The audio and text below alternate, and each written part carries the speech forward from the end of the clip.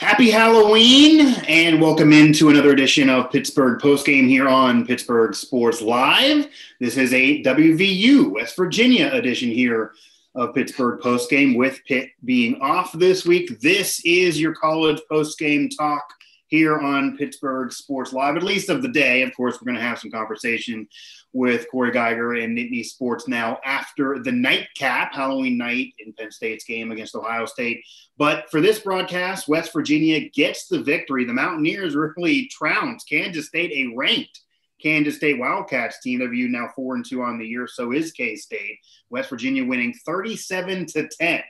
I'm your host, as always, Mike Asti, and I am joined alongside, back again, the band back together here for the WVU postgame shows by WV Sports Now's Tom Bragg as the West Virginia high school season kind of winds down. He becomes more available to us throughout the Mountaineers season as that continues on. And Tom, this game was not scary as maybe some thought for the Mountaineers. This game was scary and was a frightening game for Kansas State but Vegas thought it would go one way. People scratched their heads, as I kind of have done with all the Vegas spreads for WVU throughout most of this season. I didn't even think they covered as much as they ended up doing against Kansas. Vegas gets the victory again, along with West Virginia. Mountaineers get a big win, pretty much had it handily most of this game. Um, number one, obviously, what are your takeaways from this game? And then number two, what happened in this game unlike last week. What did the Mountaineers do differently today in comparison to last week? How can a WVU team, I'm sure a lot of people are wondering this, how can a WVU team dominate a 16th ranked Kansas State team but lose to Texas Tech last week? How can you make that make sense? I don't know that you can. And if you followed WVU football for any length of time, that that kind of makes sense. Is that yeah, you know I'm not surprised yeah, personally. Like, I'm asking like, for other people. Sure, it's it's it's a hard thing to make sense of, Mike. You know, they looked.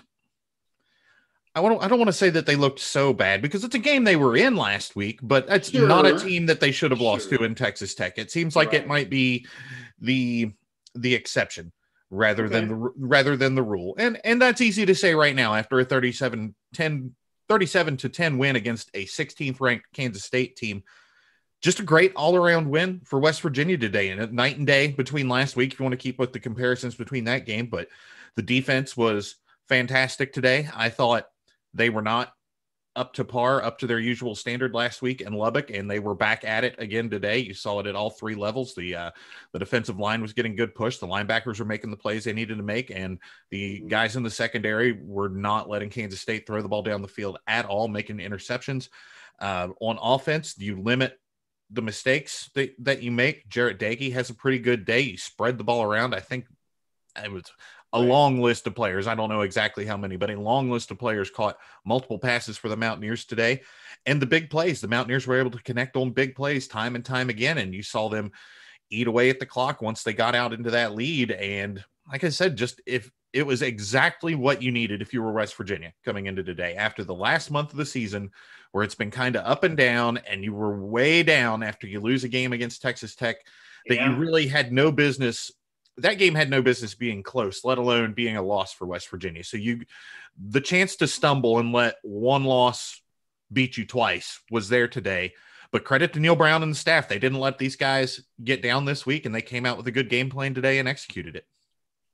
Yeah, to say the least, the Mountaineers definitely came out with a good game plan today. And you mentioned being so down after last week's loss, Neal Brown seemed down, even in those Zoom press conferences immediately after the game and even throughout the whole week. It seemed like that that was a game that the Mountaineers didn't expect to lose. And I don't know if maybe more went into that game um, as I fix the mic there for live, live, live for a live broadcast uh, gas. But I don't know if the Mountaineers maybe got too up for the game just for Jarret Doege's homecoming and all that was made into that. Jarret Doege did appear a lot calmer in this game. He did appear a lot better in this game. Whether or not the numbers bear that out, he did certainly appear more efficient, and that that did be, become um, the case numbers wise in this game. And it was really collectively across the board. The offense was better, the defense was better. One thing I do, do want to touch on here again, Mike Asti, Tom Bragg, the West Virginia post game show here on Pittsburgh Sports Live, and of course WV Sports Now, is this team was better all sides of the ball here today against Kansas State than they were against Texas Tech. And that is kind of what Mountaineer teams do, even though Neal Brown, once this team got going, said it wouldn't happen with him, unlike, say, some of the tenures of the past. But Leddie Brown was able to get going early. And I think one key, and this is brought up by a WIBW reporter down there uh, covering Kansas State, just outside Manhattan, is that Kansas State hadn't seen a featured back like Leddie Brown yet this year. Yes, they were four and one. They got over that weird loss to open up their season. They're winning all these conference games, but they hadn't got over, they haven't dealt with a featured back until Leddie Brown. They're going to have Chuba Hubbard next week, so good luck based on this experience. But is that part of it that the Mountaineers were maybe a bad matchup for Kansas State too that people didn't realize the fact that they have a lead back leading the way offensively who can be a burner. He got decent yardage early, was able to get going just a little over 100, but involved very much early in the game. Was it maybe just a bad matchup for Kansas State, regardless of what happened last week? I, I think that's part of it. You look at what Leddie did, and he was able to get going early and kind of establish the run and make Kansas State respect that, and that opened things up for Jarret Doege to throw the ball around a little bit. But you look at the other side with what Kansas State was able to accomplish on offense, which wasn't much. Credit to the West Virginia defense, of course, but you kind of wondered if this was going to catch up with them. They've got a true freshman at quarterback. Right. Uh, Deuce Vaughn has been one of the best players in the Big 12, regardless of position so far. And I think that's where West Virginia really, really won this game. They held him to yeah. 22 yards on just nine attempts. That's if you told me going into the game that West Virginia was going to hold Vaughn to under 25 yards, I'd go, oh, West Virginia wins easy. And that's that's what you saw today that that does seem to be be the case. And yeah, Leddie Brown able to get going early. If, if W was going to win this game, it was going to be the running game early. That offensive line was going to hold. Doege was not going to make mistakes. The defense was going to be that brick wall, certainly a defensive line, which was the case again today. And all of that happened to lead the Mountaineers to a victory. What was different for the W defense? Because the defense obviously was getting praised before last week, number one defense in the country. Last week, then some criticism came that maybe you hadn't played anybody besides Hubbard. You faced Texas Tech. They kind of folded a little bit late in that game. They showed up again today against, yes, an inexperienced quarterback, but a quarterback who was putting up numbers even a week ago, uh, Kansas, but that W defense played like they had earlier in this season, not just against anybody, but they did it against the number 16th ranked team in the country, regardless of what anyone may say about this being a different quarterback than, that beat Oklahoma, or this being a younger team and maybe some scheduling situation. Regardless, number 16 team, the defense played really, really well. Yeah, and, and you want to do the compare and contrast game with what happened at Texas Tech. They were able to get off the field on third down today. They were able to capitalize when they forced turnovers against Kansas State today, turn some of those into points and like I said, just was able to shut down Deuce Vaughn. Whereas Texas Tech, and that goes back to the third down thing, Texas Tech was able to dink and dunk and stay ahead of the chains all day long, it seemed like against West. Yeah, Vaughn, eight carries, 18 yards, an average of 2.3 per, and that includes a seven yard run. So besides that one run, he had seven other carries and did nothing. Yeah. Yeah, he didn't have a good day. So it's a recipe for a win for West Virginia, Mike. It's just as simple as it yeah. can be. It's, I mean, you could get into chopping this one up into into the, all the minutia of what went right for West Virginia, but as a whole, it all went right for West Virginia. And I take that back; it didn't all go right. This game could have turned early. I thought West okay. Virginia misses the field goal. They go down and get inside the red zone and have to settle for a field goal. And I believe I tweeted out, right. you know, you leave 10 points on the field against Kansas State. When does that ever come back to bite anybody? Right. At that point, you, especially consider what had happened last week, you, you kind yeah. of think, oh no, this is well, here we go. Here we go. I've read, the, I, yeah, I've read this story before. I know how it yeah. ends. Right. But back to what uh, what I was saying early in the in the show here. Credit to Neal Brown and the staff for getting these guys ready throughout the week and not letting them fold when things yeah. didn't go exactly right early in the game because we've seen this is that's a good way to put this. This is a this is a team that that seems to thrive on emotion, good or bad. Right. When things are going well, they're going really well, but when things are going bad, the bottom falls out. And you saw the possibility for that today, and it didn't happen. So yeah, credit to Neal Brown, the Mountaineer staff. They did a great job today. I think too, it was it was big to do such a great job this week after last week because really, obviously, he's going to get tons of, of, of rope and Shane Lyons loves him and the administration loves him. And this is only his second year. Last year, kind of more of a year zero, the cover being bare. But if you get into this season where the wheels totally fall off, they only win two or three games, even with COVID, that would have certainly put pressure on next year to have a really solid season, or eventually people are start are eventually going to wonder what's happening. However, that's that this was a big win. This is certainly a big win for him, one of the bigger wins he's had, maybe the biggest win he's had based on last week. And, and they mentioned on the broadcast, you, you kind of touched on it too, that after what happened last week and knowing Kansas State, this is the worst team you want to play if you're giving points up early and you're facing a team that can come back on you after losing last week and maybe being down because they had to come back to Oklahoma. They've had to come back a lot this year. They managed to do it in prior weeks, and this week they end up getting blown off the field. Yeah, settling for field goals and special teams mistakes against K State is a recipe for disaster 99% of the time, but right. West Virginia dodged a bullet today. But they had a good game plan. They came back, they got comfortable, they started spreading the ball around. You look looking at the receiving numbers now.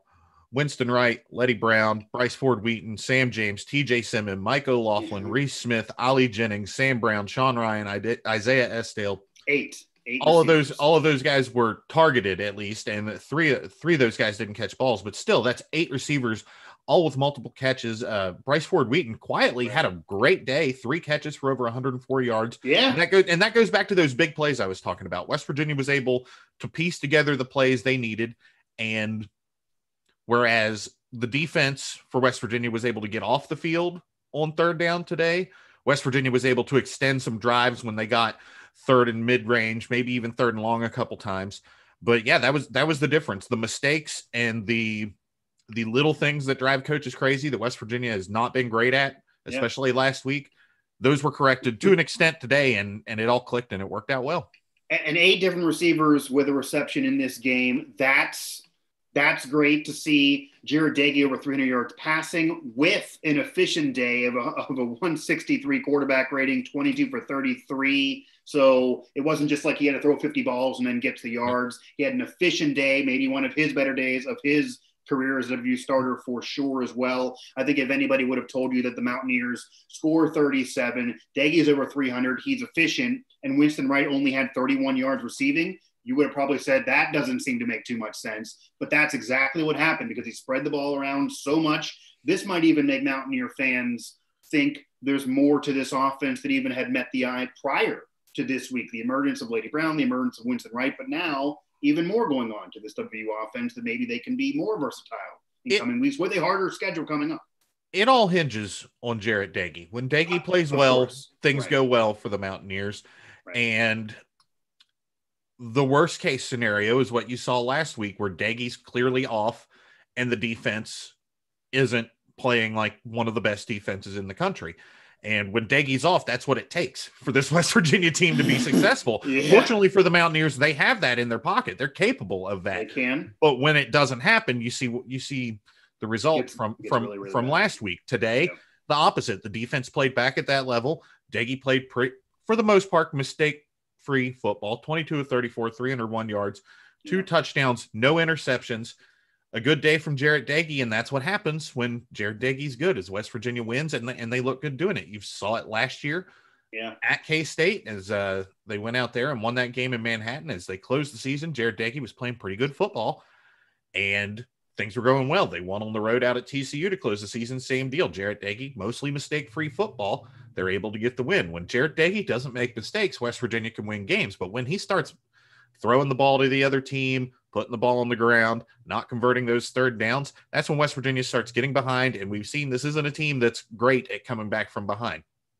No, and Jarret Doege is a quarterback that can be your quarterback while you win games, but he's not who we'll segue here in a moment. He's not a Trevor Lawrence. He's not a Justin Fields. He can't take over a game on his own. He's not a Heisman winning type of quarterback, but he certainly is good enough to lead you to victories if, with if, his defense. If he can weapons. do that, we've never seen him do it. Right. To yeah. be fair, sure. Yeah. He, he yeah. He's still relatively young, but based on what we've seen to this point, he doesn't appear to be that guy, but he certainly is a guy that can lead you to wins. He's certain this numbers wise, maybe the best start he's had. I know talking to K State K State people too, this is a tough pill to swallow for them because not only does this be be a loss, their first conference loss. They still have that second overall loss from that opening game. That's just weird now for their season. They go into Oklahoma State. It's a tougher schedule the rest of the way for them than even what the Mountaineers are dealing with. Could easily be two or three more losses. And after losing to WVU last week, that really does become a problem here. Just touching quickly on Kansas State here again, Tom Bragg, Mike Asti here on the WVU post game show here on Pittsburgh Sports Live, and of course WV Sports Now obviously the Mountaineers want to get a victory, want to, want to turn things around, and Mountaineer fans want to see their team get better and to win. But speaking of the overall conference, it's a down year for Oklahoma, who's barely ranked, and they've already lost a couple. Iowa State is a good team. Oklahoma State is a top 10 team. They're finally kind of picking up steam. They have some big games coming up with, with Chuba Hubbard and company, including to Kansas State next week. But Kansas State was a dark horse team to really vie in this conference based on their record to this point after getting over that first game, like first game loss. Now four and two. This is their first conference loss, but their schedule gets harder. Their meat of their schedule is coming up for our uh, what's that Stake still needing a Stake sponsor segment for the other yes. side. Uh, we still do need that here, but for what's at stake for Kansas State moving on, um, I will ask you does this win for the Mountaineers? And we've kind of already thought this to be the case with Texas not really being back and OU being down. But does this probably solidify that it's either Oklahoma State if or nothing, or maybe it really is nothing in terms of the Big 12 with a playoff chance? Because this now bumps Kansas State season a peg or so down, and they're going to lose again. So it's Oklahoma State really or bust. And if they would lose next week to K State, the Big 12 basically done mid season. Is that pretty much the case? Yeah, it would be early so. to be done, but this is this this was a needed win. I feel like for the Big uh, Twelve. I think it.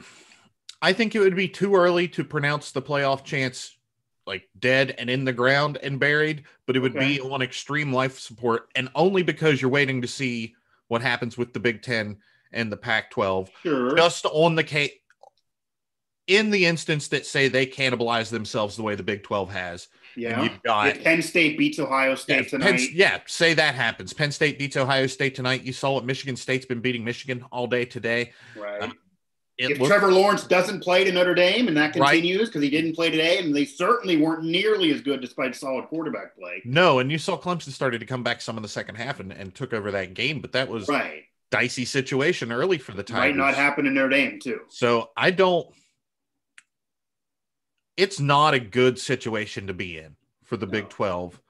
Only having to depend on Mike Gundy with a month left and COVID nineteen for your hurting. Yeah, someone, yeah, basically. with yeah with with with COVID nineteen floating around and having to depend on Mike Gundy. Yeah, the and we know how dependable Mike Gundy is. That it's not a good look for the Big Twelve, and I think it is Oklahoma State or bust. They've got to beat K State. They've got to win Bedlam they they've got to beat Texas still, I believe. So that's ugh. if they're the best team in the Big 12, they're going to have to earn it. I think they can. But you look at West Virginia now sitting there with two losses in the conference. That's not a terrible place to be. No, you know what you know what about it's not at all. No, with what everybody have the game what, in hand over K State, despite yes, with what everybody else has lined up. Now, st- West Virginia still has to play Texas and Oklahoma, of course. Right.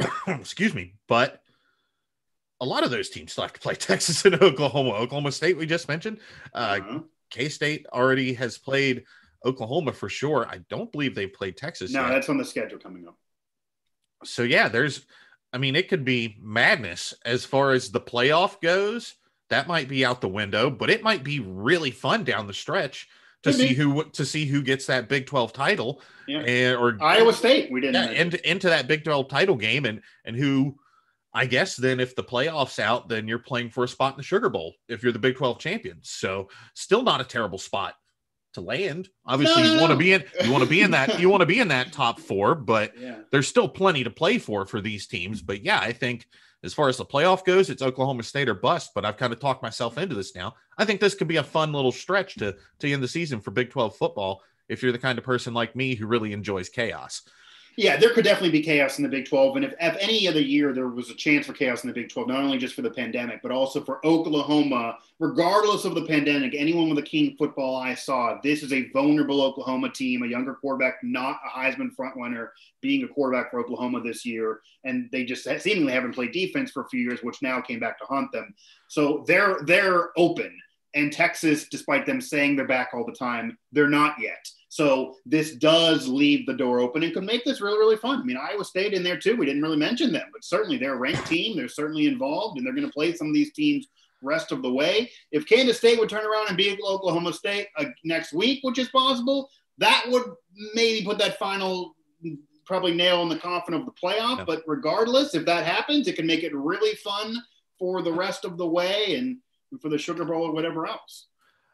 I just don't trust Iowa State, man. Now, Okay. September, we have to put them in though. They're ranked. Sure, sure, sure. Not, so absolutely, absolutely, absolutely, absolutely. I was just going off of conference wins and losses, and I think about Iowa State.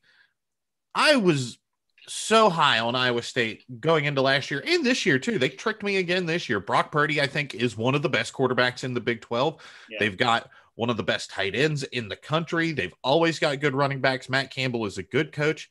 Right but September Iowa State and November November Iowa State have been two very different teams the last few years. So I'm curious to see what the Cyclones have coming up as as we get down the stretch here because they've been good down the stretch and they've gotten off to rocky starts and that's kind of put them behind the eight ball to to really get sure, that momentum sure. rolling and be among the leaders in the Big 12 where people expect them to be every year because of how they end the season. So curious to see what the Cyclones have coming up these next couple weeks. I can say though, Tom, to maybe try to convince you a little bit of, of even more chaos and liking their chances just by default. That's the case for Iowa State, but say, for example, Oklahoma State, who is in the driver's seat right now, a 16th team in the country, a big game next week. They win that, they're really in good shape. They're a team that Mike Gundy is a beast in October, but once we get toward Thanksgiving and into the fall, not so much. So if he lays some eggs here, you're getting chaos and then some, since they're clearly in the driver's seat, and that has now been solidified by again West Virginia beating Kansas State. There's no debate there any further. Any further, but they could easily. It would not shock me at all if they lose to Kansas State, uh, just for the way Mike oh, no, not, tends, not, not, tends, tends to work. Not at all. That was I don't know if you could tell earlier, but my tongue was firmly planted in my cheek when I was talking about how dependable Mike Gundy has right, been yeah, on the yeah, stretch yeah, in the past. So, so, so yeah, it wouldn't buckle your seatbelt up for. I week. think I think it'd be hard to believe oh, it though. The match, yeah. if they can't handle Leddie Brown, it's hard to believe Chuba no. Hubbard is not going to.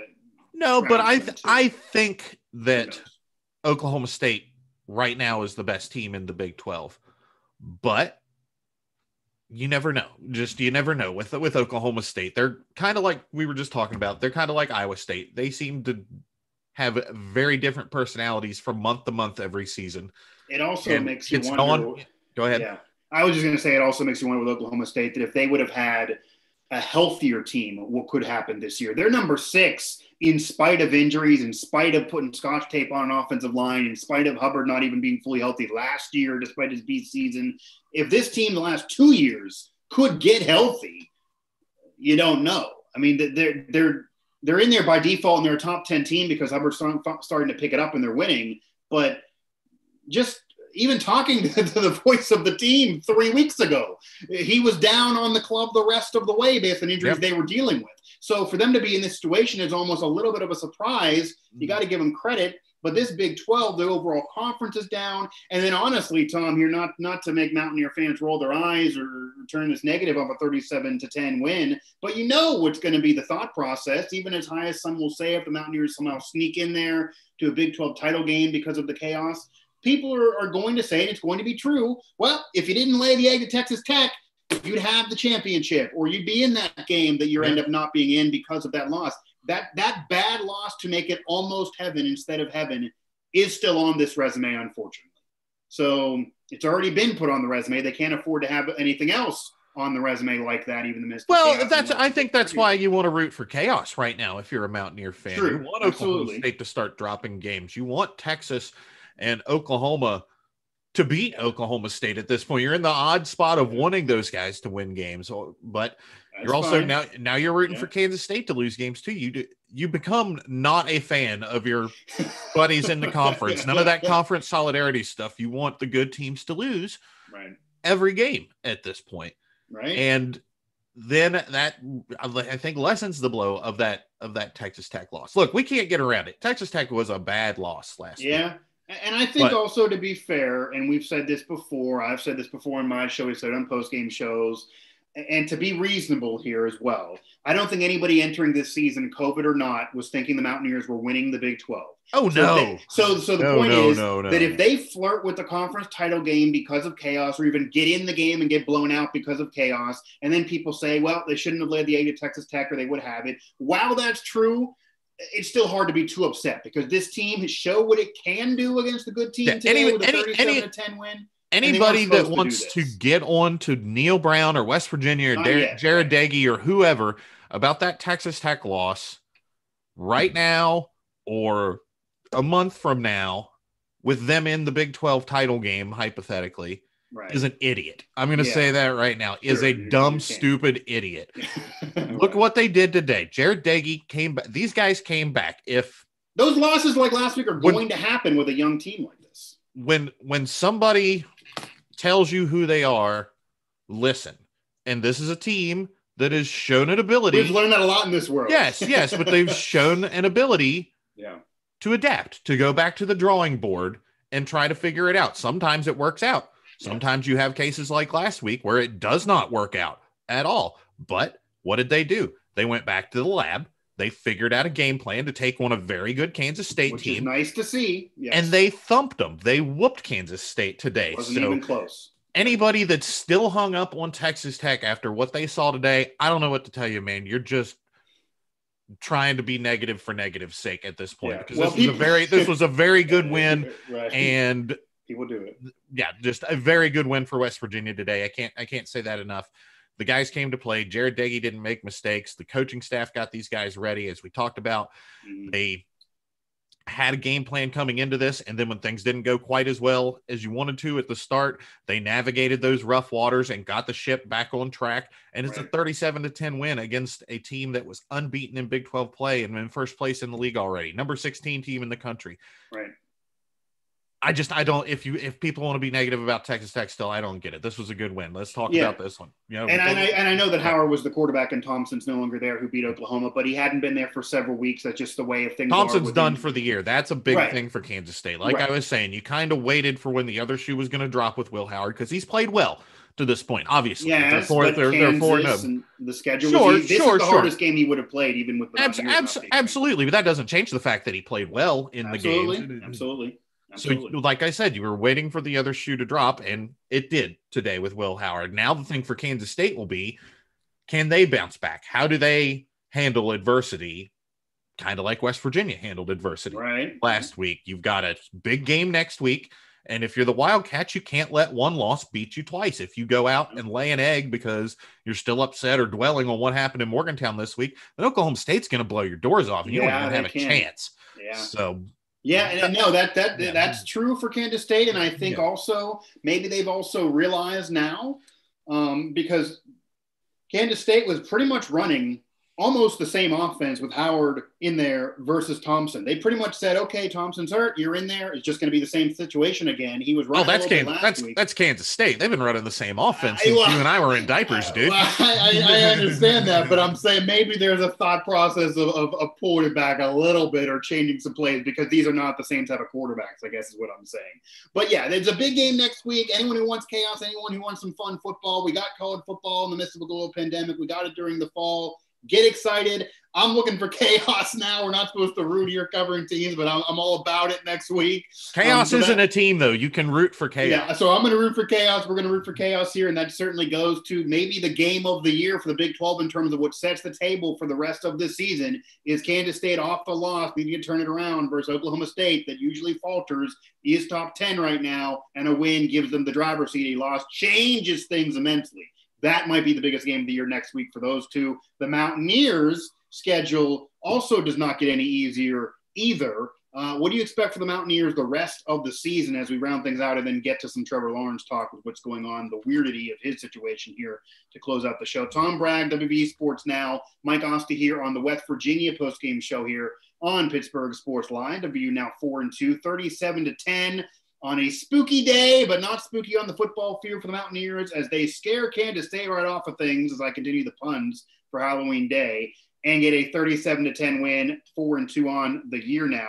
But what are your thoughts, the Mountaineers, the rest of the schedule? We're talking a lot of chaos. We're talking about predictions. If they can get in there, if they can make up the Texas Tech game, it is a young team. Those things are going to happen. Schedule certainly does still have some tough games the rest of the way. After seeing the, the capability of this team, which I can say after last year being year zero, the cover being bare, and this year the team getting together, this is the best win for Neal Brown. This is the best win for Jarret Doege for me. But can that segue the rest of the way, or are you maybe still expecting a roller coaster ride because this is still a rebuilding season that maybe next year was more supposed to be the year of what we're actually talking about? Well, I expect a roller coaster ride 100%. They play at Texas next week. They've got TCU at home the week after that.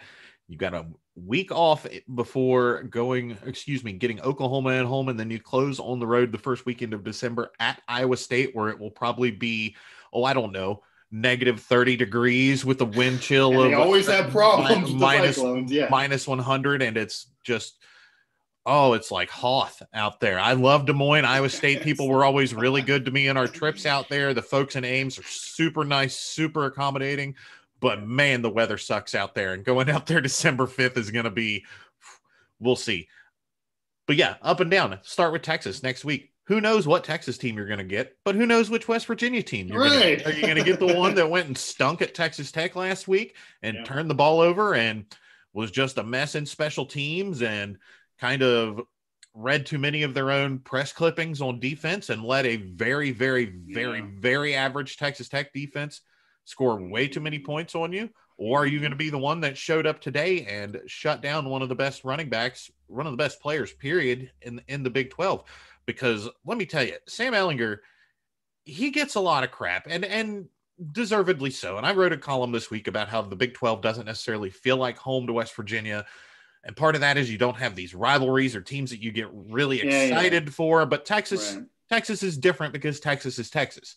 Texas is the snotty kid with the most punchable face on the planet, and it feels great when you get to take a swing at him. And yeah. Sam Elliott, well, like Oklahoma too, but they got the win over Texas. Well, yeah, that's what I'm getting at, I, and that's what I wrote. They're you know, more beatable. Oklahoma's in the same category, but you haven't beat them yet, so you don't know what punching that guy feels like. You've punched Texas right. a couple times, and it feels sweet when you do it. And Sam right. Ehlinger is kind of the embodiment of that.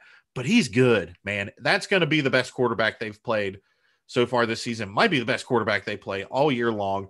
That is going to present problems for West Virginia. Texas can play. We saw a great game with them against Oklahoma in the Red River game a few weeks ago.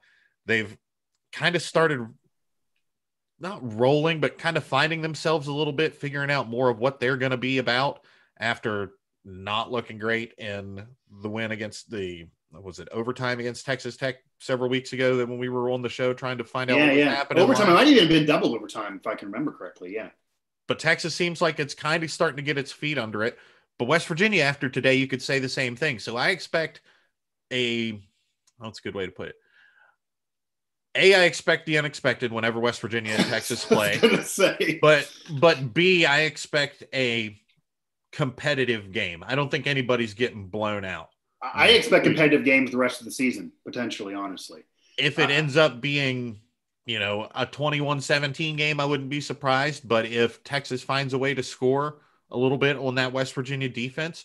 I think after today, you maybe you got some confidence. You've seen that you can spread the ball around. Leddie Brown is a horse and is hard to bring down. I think the West Virginia offense has maybe a little bit of confidence, a little pep in their step. If Texas wants to get into a shootout, maybe they see what they can do with that. And I think the Mountaineers too, and the way this game unfolded offensively will actually add to that confidence and that pep in their step because I think they're also going to say to themselves, if we get down, if we get in a shootout, we have to come back. It's not just Winston Wright. We have a lot to deal with receiver wise. We can even throw Leddie Brown out there. He can, they're going to, I'm sure, give a lot of Leddie Brown early in these games to try to get a lead and, and beat down these opposing defenses. Yeah. So they have a game plan. It seems like they're finally figuring out. They didn't get, get done. Getting getting Sinkfield going today was important right. too. Yeah, yeah, I thought he wasn't a superstar or anything, but he, but he had his most productive day. I want to say of the season, maybe even going back his most productive day in two years almost today. For sure. just from the standpoint of getting that confidence going that I was talking about. You've got other options. It doesn't have to be Leddie Brown over and over and over yeah. and over again. Now you've got that ability, and if you need to go to that well, it, you you've got that bullet in your chamber if you need it. But but I, but I think Leddie Brown's better with 25 or so carries than he is with 35 or so. Oh, carries. Oh yeah, so, yeah, yeah, So yeah, if absolutely. you can if you can, as you see here, Leddie Brown 24, Sinkfield 14, 85 yards for him. So certainly his best day, but that's a good spread. Even if it's 25 to 10, that's a better spread than making Leddie Brown be the complete yeah. workhorse. He's not Ezekiel Elliott out there. So no, and, and and situationally, you look at Sinkfield's numbers today, yeah, only 81 yards on, on 14 carries. The yards per carry is not all that great. Well, it's 6.1. Not was, too bad. He was busting big plays when he needed them, when West Virginia needed yeah, them. At a 36 drive, yarder. Yeah, yeah, keeping drives alive. And that's something that I've harped on a lot today because that's what killed them last week is not being able to stay in front of the sticks while the defense was not able to keep Texas Tech's offense off the field. You yeah. saw, I'll hit it again one more time while we're wrapping up here. You saw that change today, and it's a 37 to 10 win versus an awful loss to Texas Tech last week. So, what West Virginia did today is the recipe for this West Virginia team. We talked about yeah. when somebody tells you who they are, you should believe them. West Virginia told us who they were today. We and should, we should believe them, but I will also say opposing teams, opposing defenses, opposing defensive coordinators also may believe them. So they're going to say, this is what they can do.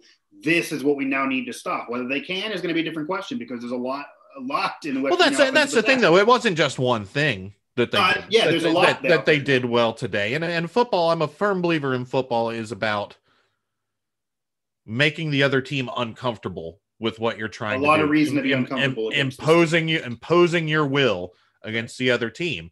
And when it when it works, it looks good, and it looked good for for West Virginia today. Obviously, it's the trick is being able to do that on a consistent basis, week after week. And when you get to that level, you see the Alabamas, the Clemsons, mm-hmm. even the Oklahomas, and the you know, Ohio States of the world. Yeah, they make uh, they make other teams more concerned about what Ohio State is going to do to them versus what you're going to versus do. what they're going to do to Ohio yeah. State, and, and that's how the wheels fall off against yes, teams. Right, exa- exactly, right. and that's what happened today for West Virginia. It's catching that lightning in a bottle and figuring out how to reproduce it. Every, yeah, and it, that's, it that's, the, that's the trick now and it might have become an issue for Kansas State. The middle of this game, yeah. if you got a little bit of a lead, they might have started thinking, we got to stop this, this, this, this, this. And they totally got out of a strategy for themselves. They never put any more points on the board. It ended up being 37 to 10. Tom Bragg, WV Sports Now. Mike Asti here on the West Virginia postgame show here on PSL. Uh, Tom, I do want to ask you real quick before we get to some brief conversation on what we think the situation is going to be here with Trevor Lawrence and whether that's going to impact the committee in terms of deciding for the playoffs, certainly because they're very vulnerable right now based on today's outcome. Clemson does win 32 to 28, but uh, without him, that almost certainly could have been a loss. Um, Casey Legg, WVU's kicker, uh, a weird, interesting background that we're talking about off air and on Twitter that I'm not sure everyone's aware of. No football career prior to the Mountaineers, which is major Big 12 football. Tell us about what he was doing that led him to becoming a kicker with the Mountaineers. He has the last name that makes sense, but what else led him to this path? Well, Casey Legg was a soccer player in high school at a small Christian school in Cross Lanes, which little suburb about 10 minutes outside of Charleston. Mountaineer fans familiar with it. It is where the casino is located that Dana Holgorsen got in that trouble at. Okay. first became yeah, right down, right, right down, right down, the, right down the road here. I actually okay. live in Cross Lanes. I'm broadcasting you live from Cross Lanes oh, right it now. fits all together. So Casey Legg went to a small little Christian school named Cross Lanes Christian and played soccer. They don't have football at that school, so he didn't. That's the thing. Yeah, there was just yeah, no football to play. do it right. And I, you know, he got. I'm not sure exactly how he got involved in kicking, but it was soccer based. He was very good at soccer and he got into some kicking camps. Obviously, not playing for a football team. That was the only chance he really had to to get experience kicking, to figure out if he liked it, to figure out if he was any good at it. And turns right. out he was pretty good at it. Yeah. And right here in the backyard, that was one of the ones that uh, Dana Holgorsen and his staff were able to get on campus and get get committed to West Virginia. He, as we said, had never played a down of football and it was two years ago in Morgantown against Baylor. West Virginia was blowing the doors off of Baylor. I believe it was a Wednesday night, a, a Wednesday or Thursday night game. I remember that Big 12 basketball media day was in Kansas City the day before, and I had to fly Kansas City into Pittsburgh and drive straight to the stadium to get there right as that game started.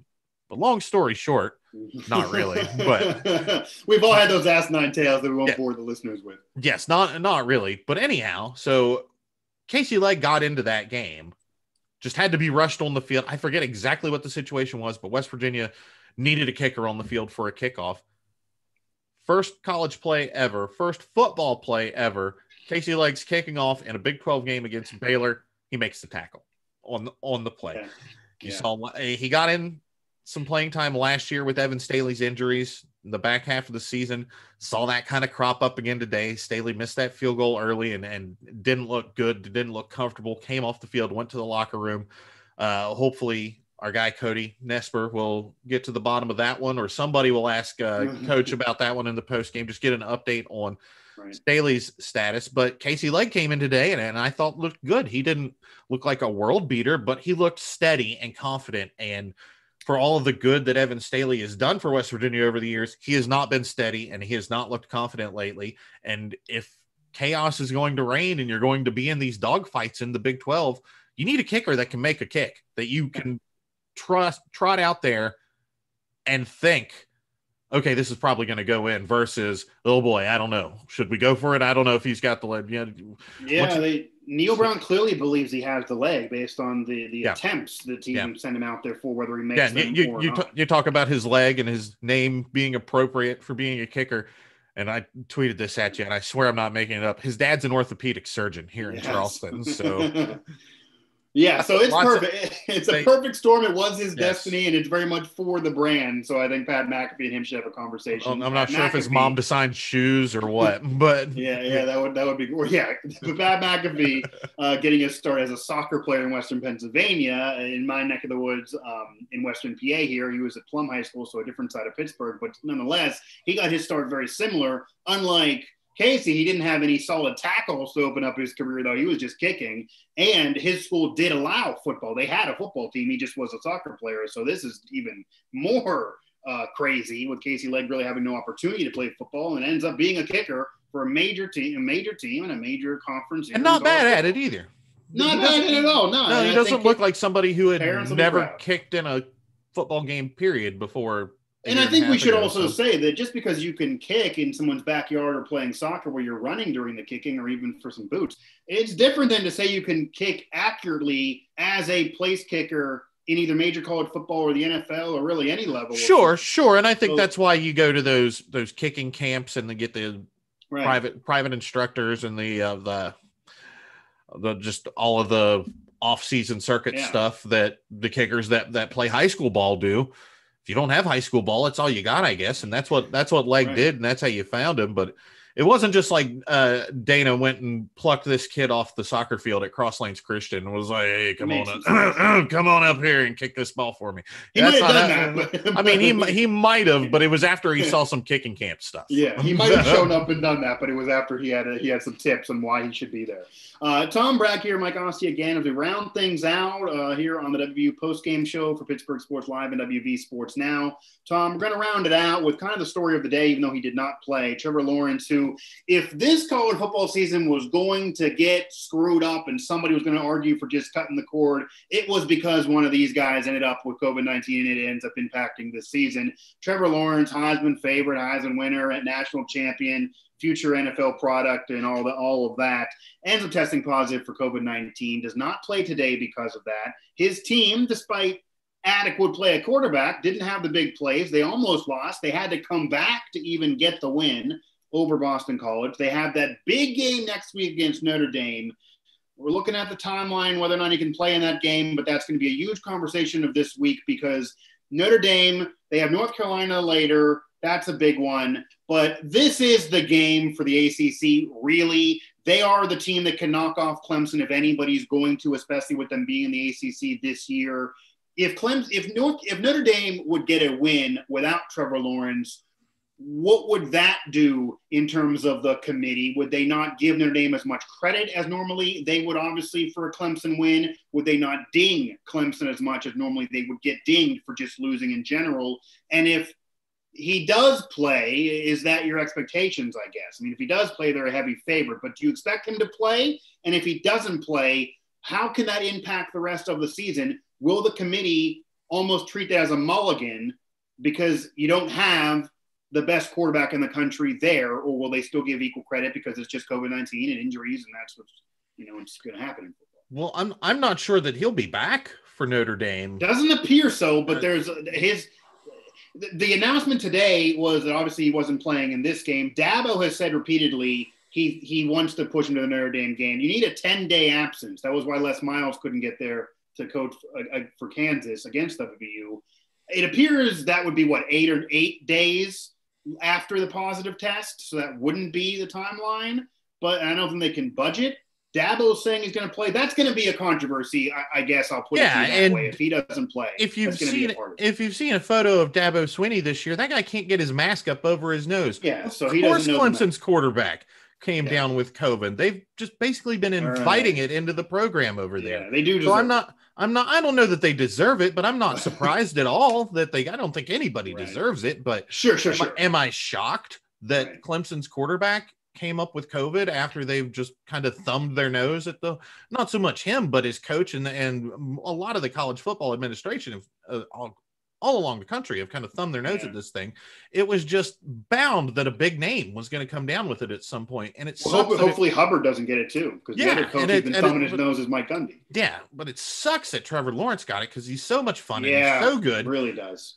as far as the playoff committee goes, if Notre Dame wins the game next week, you know, Lawrence or not, they're in the driver's seat. Oh, they're in the driver's seat, but what if they win a close spot. game? Does that? My point, I guess, would be Here's the thing. Dame- Here's the here's the thing though. I don't think that you can ding Clemson that much because they are not a it's not like it's the Trevor Lawrence show at Clemson. Travis Etienne is one of the best running backs in the country ever in college football. He just set the ACC record for rushing yards today. Right. They have five star guys all over both sides of that line at receiver, all three levels of the defense. That team is stacked.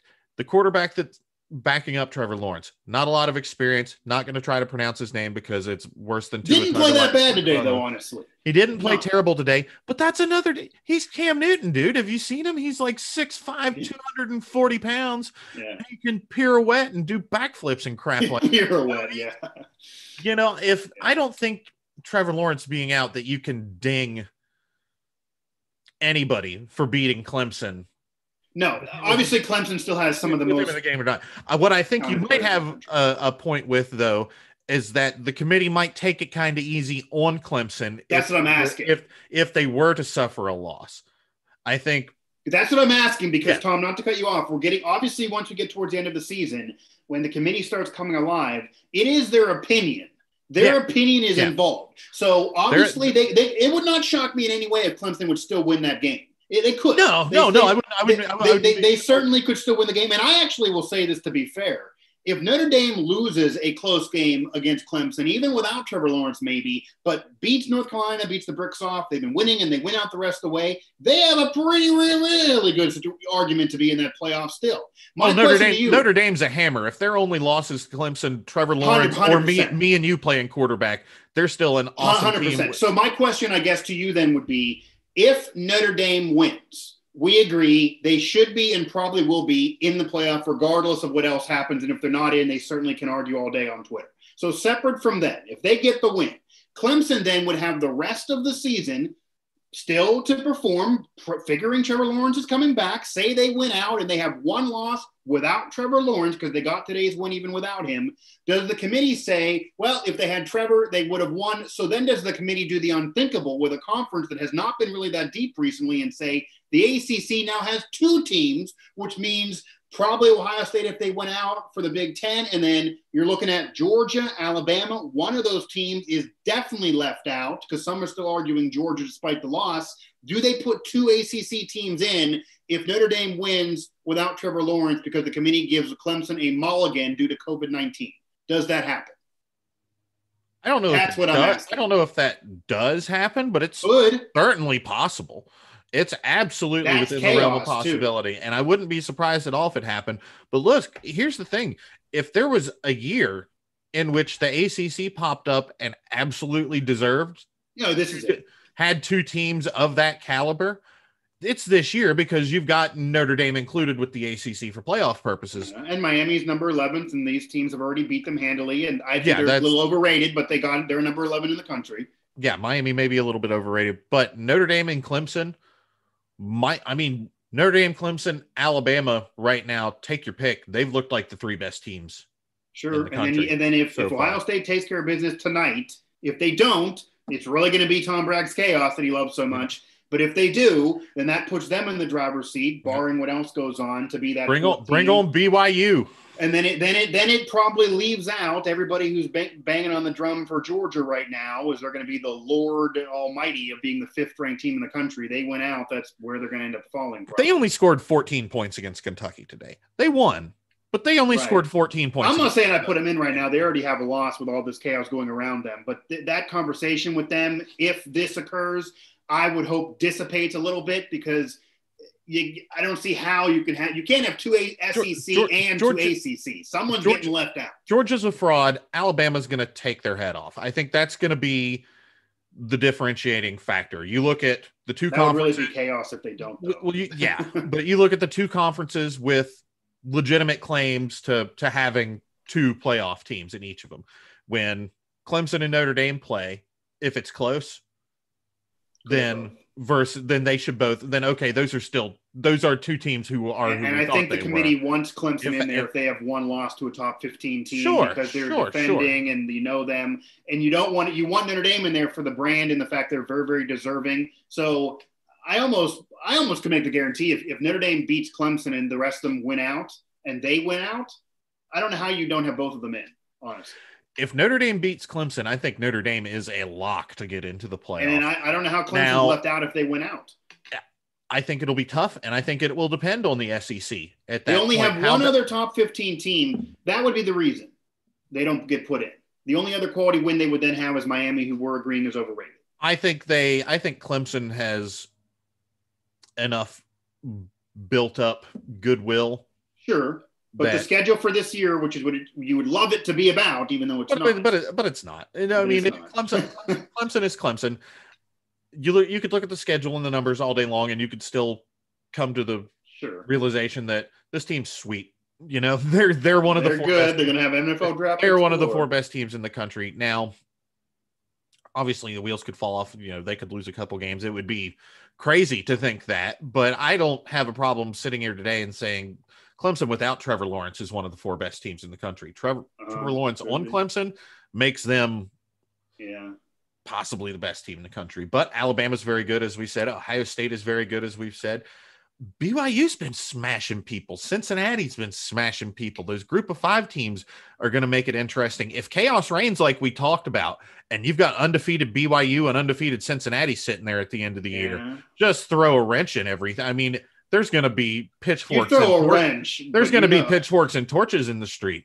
You know what would happen too, and uh, you and I again are, are on that bullseye chart. If one of those teams sneaks in this year, even with COVID and everything going on, UCF, who's been irrelevant this year, those fans would throw chairs because of what happened to them three years ago, Uh, because the schedules would be similar with To- an and, and, and, and to them, I would say, who cares? That was three years ago. It was a different. It was, a And different- unfortunately, though, they do care. They're three years ago is going to be their present day was a- year forever. it was a different scenario. Well, Good, Sure. good, good for them. you know, Sure.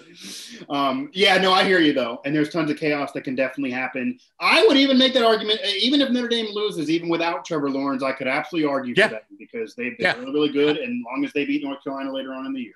and I think in that scenario, that's when Notre Dame starts playing the comparison game with the SEC teams. Yeah. Like, okay, we're I've got one loss. So do you. So do you. That's when you Who's start worse? hoping you you start rooting for chaos in the SEC if you're Notre Dame. You want Alabama to have one loss because Alabama with one loss is still going to get in the playoffs. Sure. Right. If Alabama has one loss and Georgia doesn't have any, You want Ohio State to lose then then you're in trouble. I think the big one for the Big 12 that we talked about earlier is that Ohio State Penn State game tonight. You're rolling for Penn State. You want the Big 10 to blow up at the yeah. top, just like the top of your schedule has or top of your uh, standings have blown up. And then you hope Oklahoma State can start running the table because otherwise, as we talked about earlier, it's going to be it's going to be tough for the Big 12 to get into the playoff. Sugar Bowl, not a bad pillow to land on if you don't don't hit that playoff target, but you want you want to hit the playoff and yeah. It would be it would be it would be an interesting offseason for the Big 12 if they got shut out of, of yeah. The, I'll put it. And if ever there was going to be a year to get shut out, because they always have that team in Oklahoma that if they just get close to it, the committee's going to bump them in because they love Oklahoma. But they're not vying really for it this year because of their circumstances. So yeah, they got two losses already. They're done. Yeah, they're done. So they're it certainly done. opens things up for this conference to be left out altogether, especially with Texas who being another darling, having already lost. If they were undefeated and had won the rivalry game, that would be different. But they that's not the case. So again, it certainly opens uh, opens things up. Uh, I will say though to not get criticized for an East Coast bias. If you're the Pac 12 team, you also need to root for Penn State to win. You also need to root for chaos because you're most likely getting left out. You don't really have a team good enough this year, but you need tons of chaos for yourself to be involved as well. Uh, for Tom Bragg here and for WV Sports Now, of course, for all of us throughout the Pittsburgh Sports Now family of networks and Pittsburgh Sports Live, I was your host, Mike Asti. The Mountaineers get a Halloween day victory over Kansas State, sending Kansas State into the grave a little bit, at least for the day, with a 37 to 10 win. Mountaineers now four and two on the season, another conference victory. So obviously that a big deal for WU. And as I keep saying every week, we'll see. We will see the rest of the way, and uh, we will see if chaos truly ensues. And many of us will kind of deep down hope that chaos truly ensues.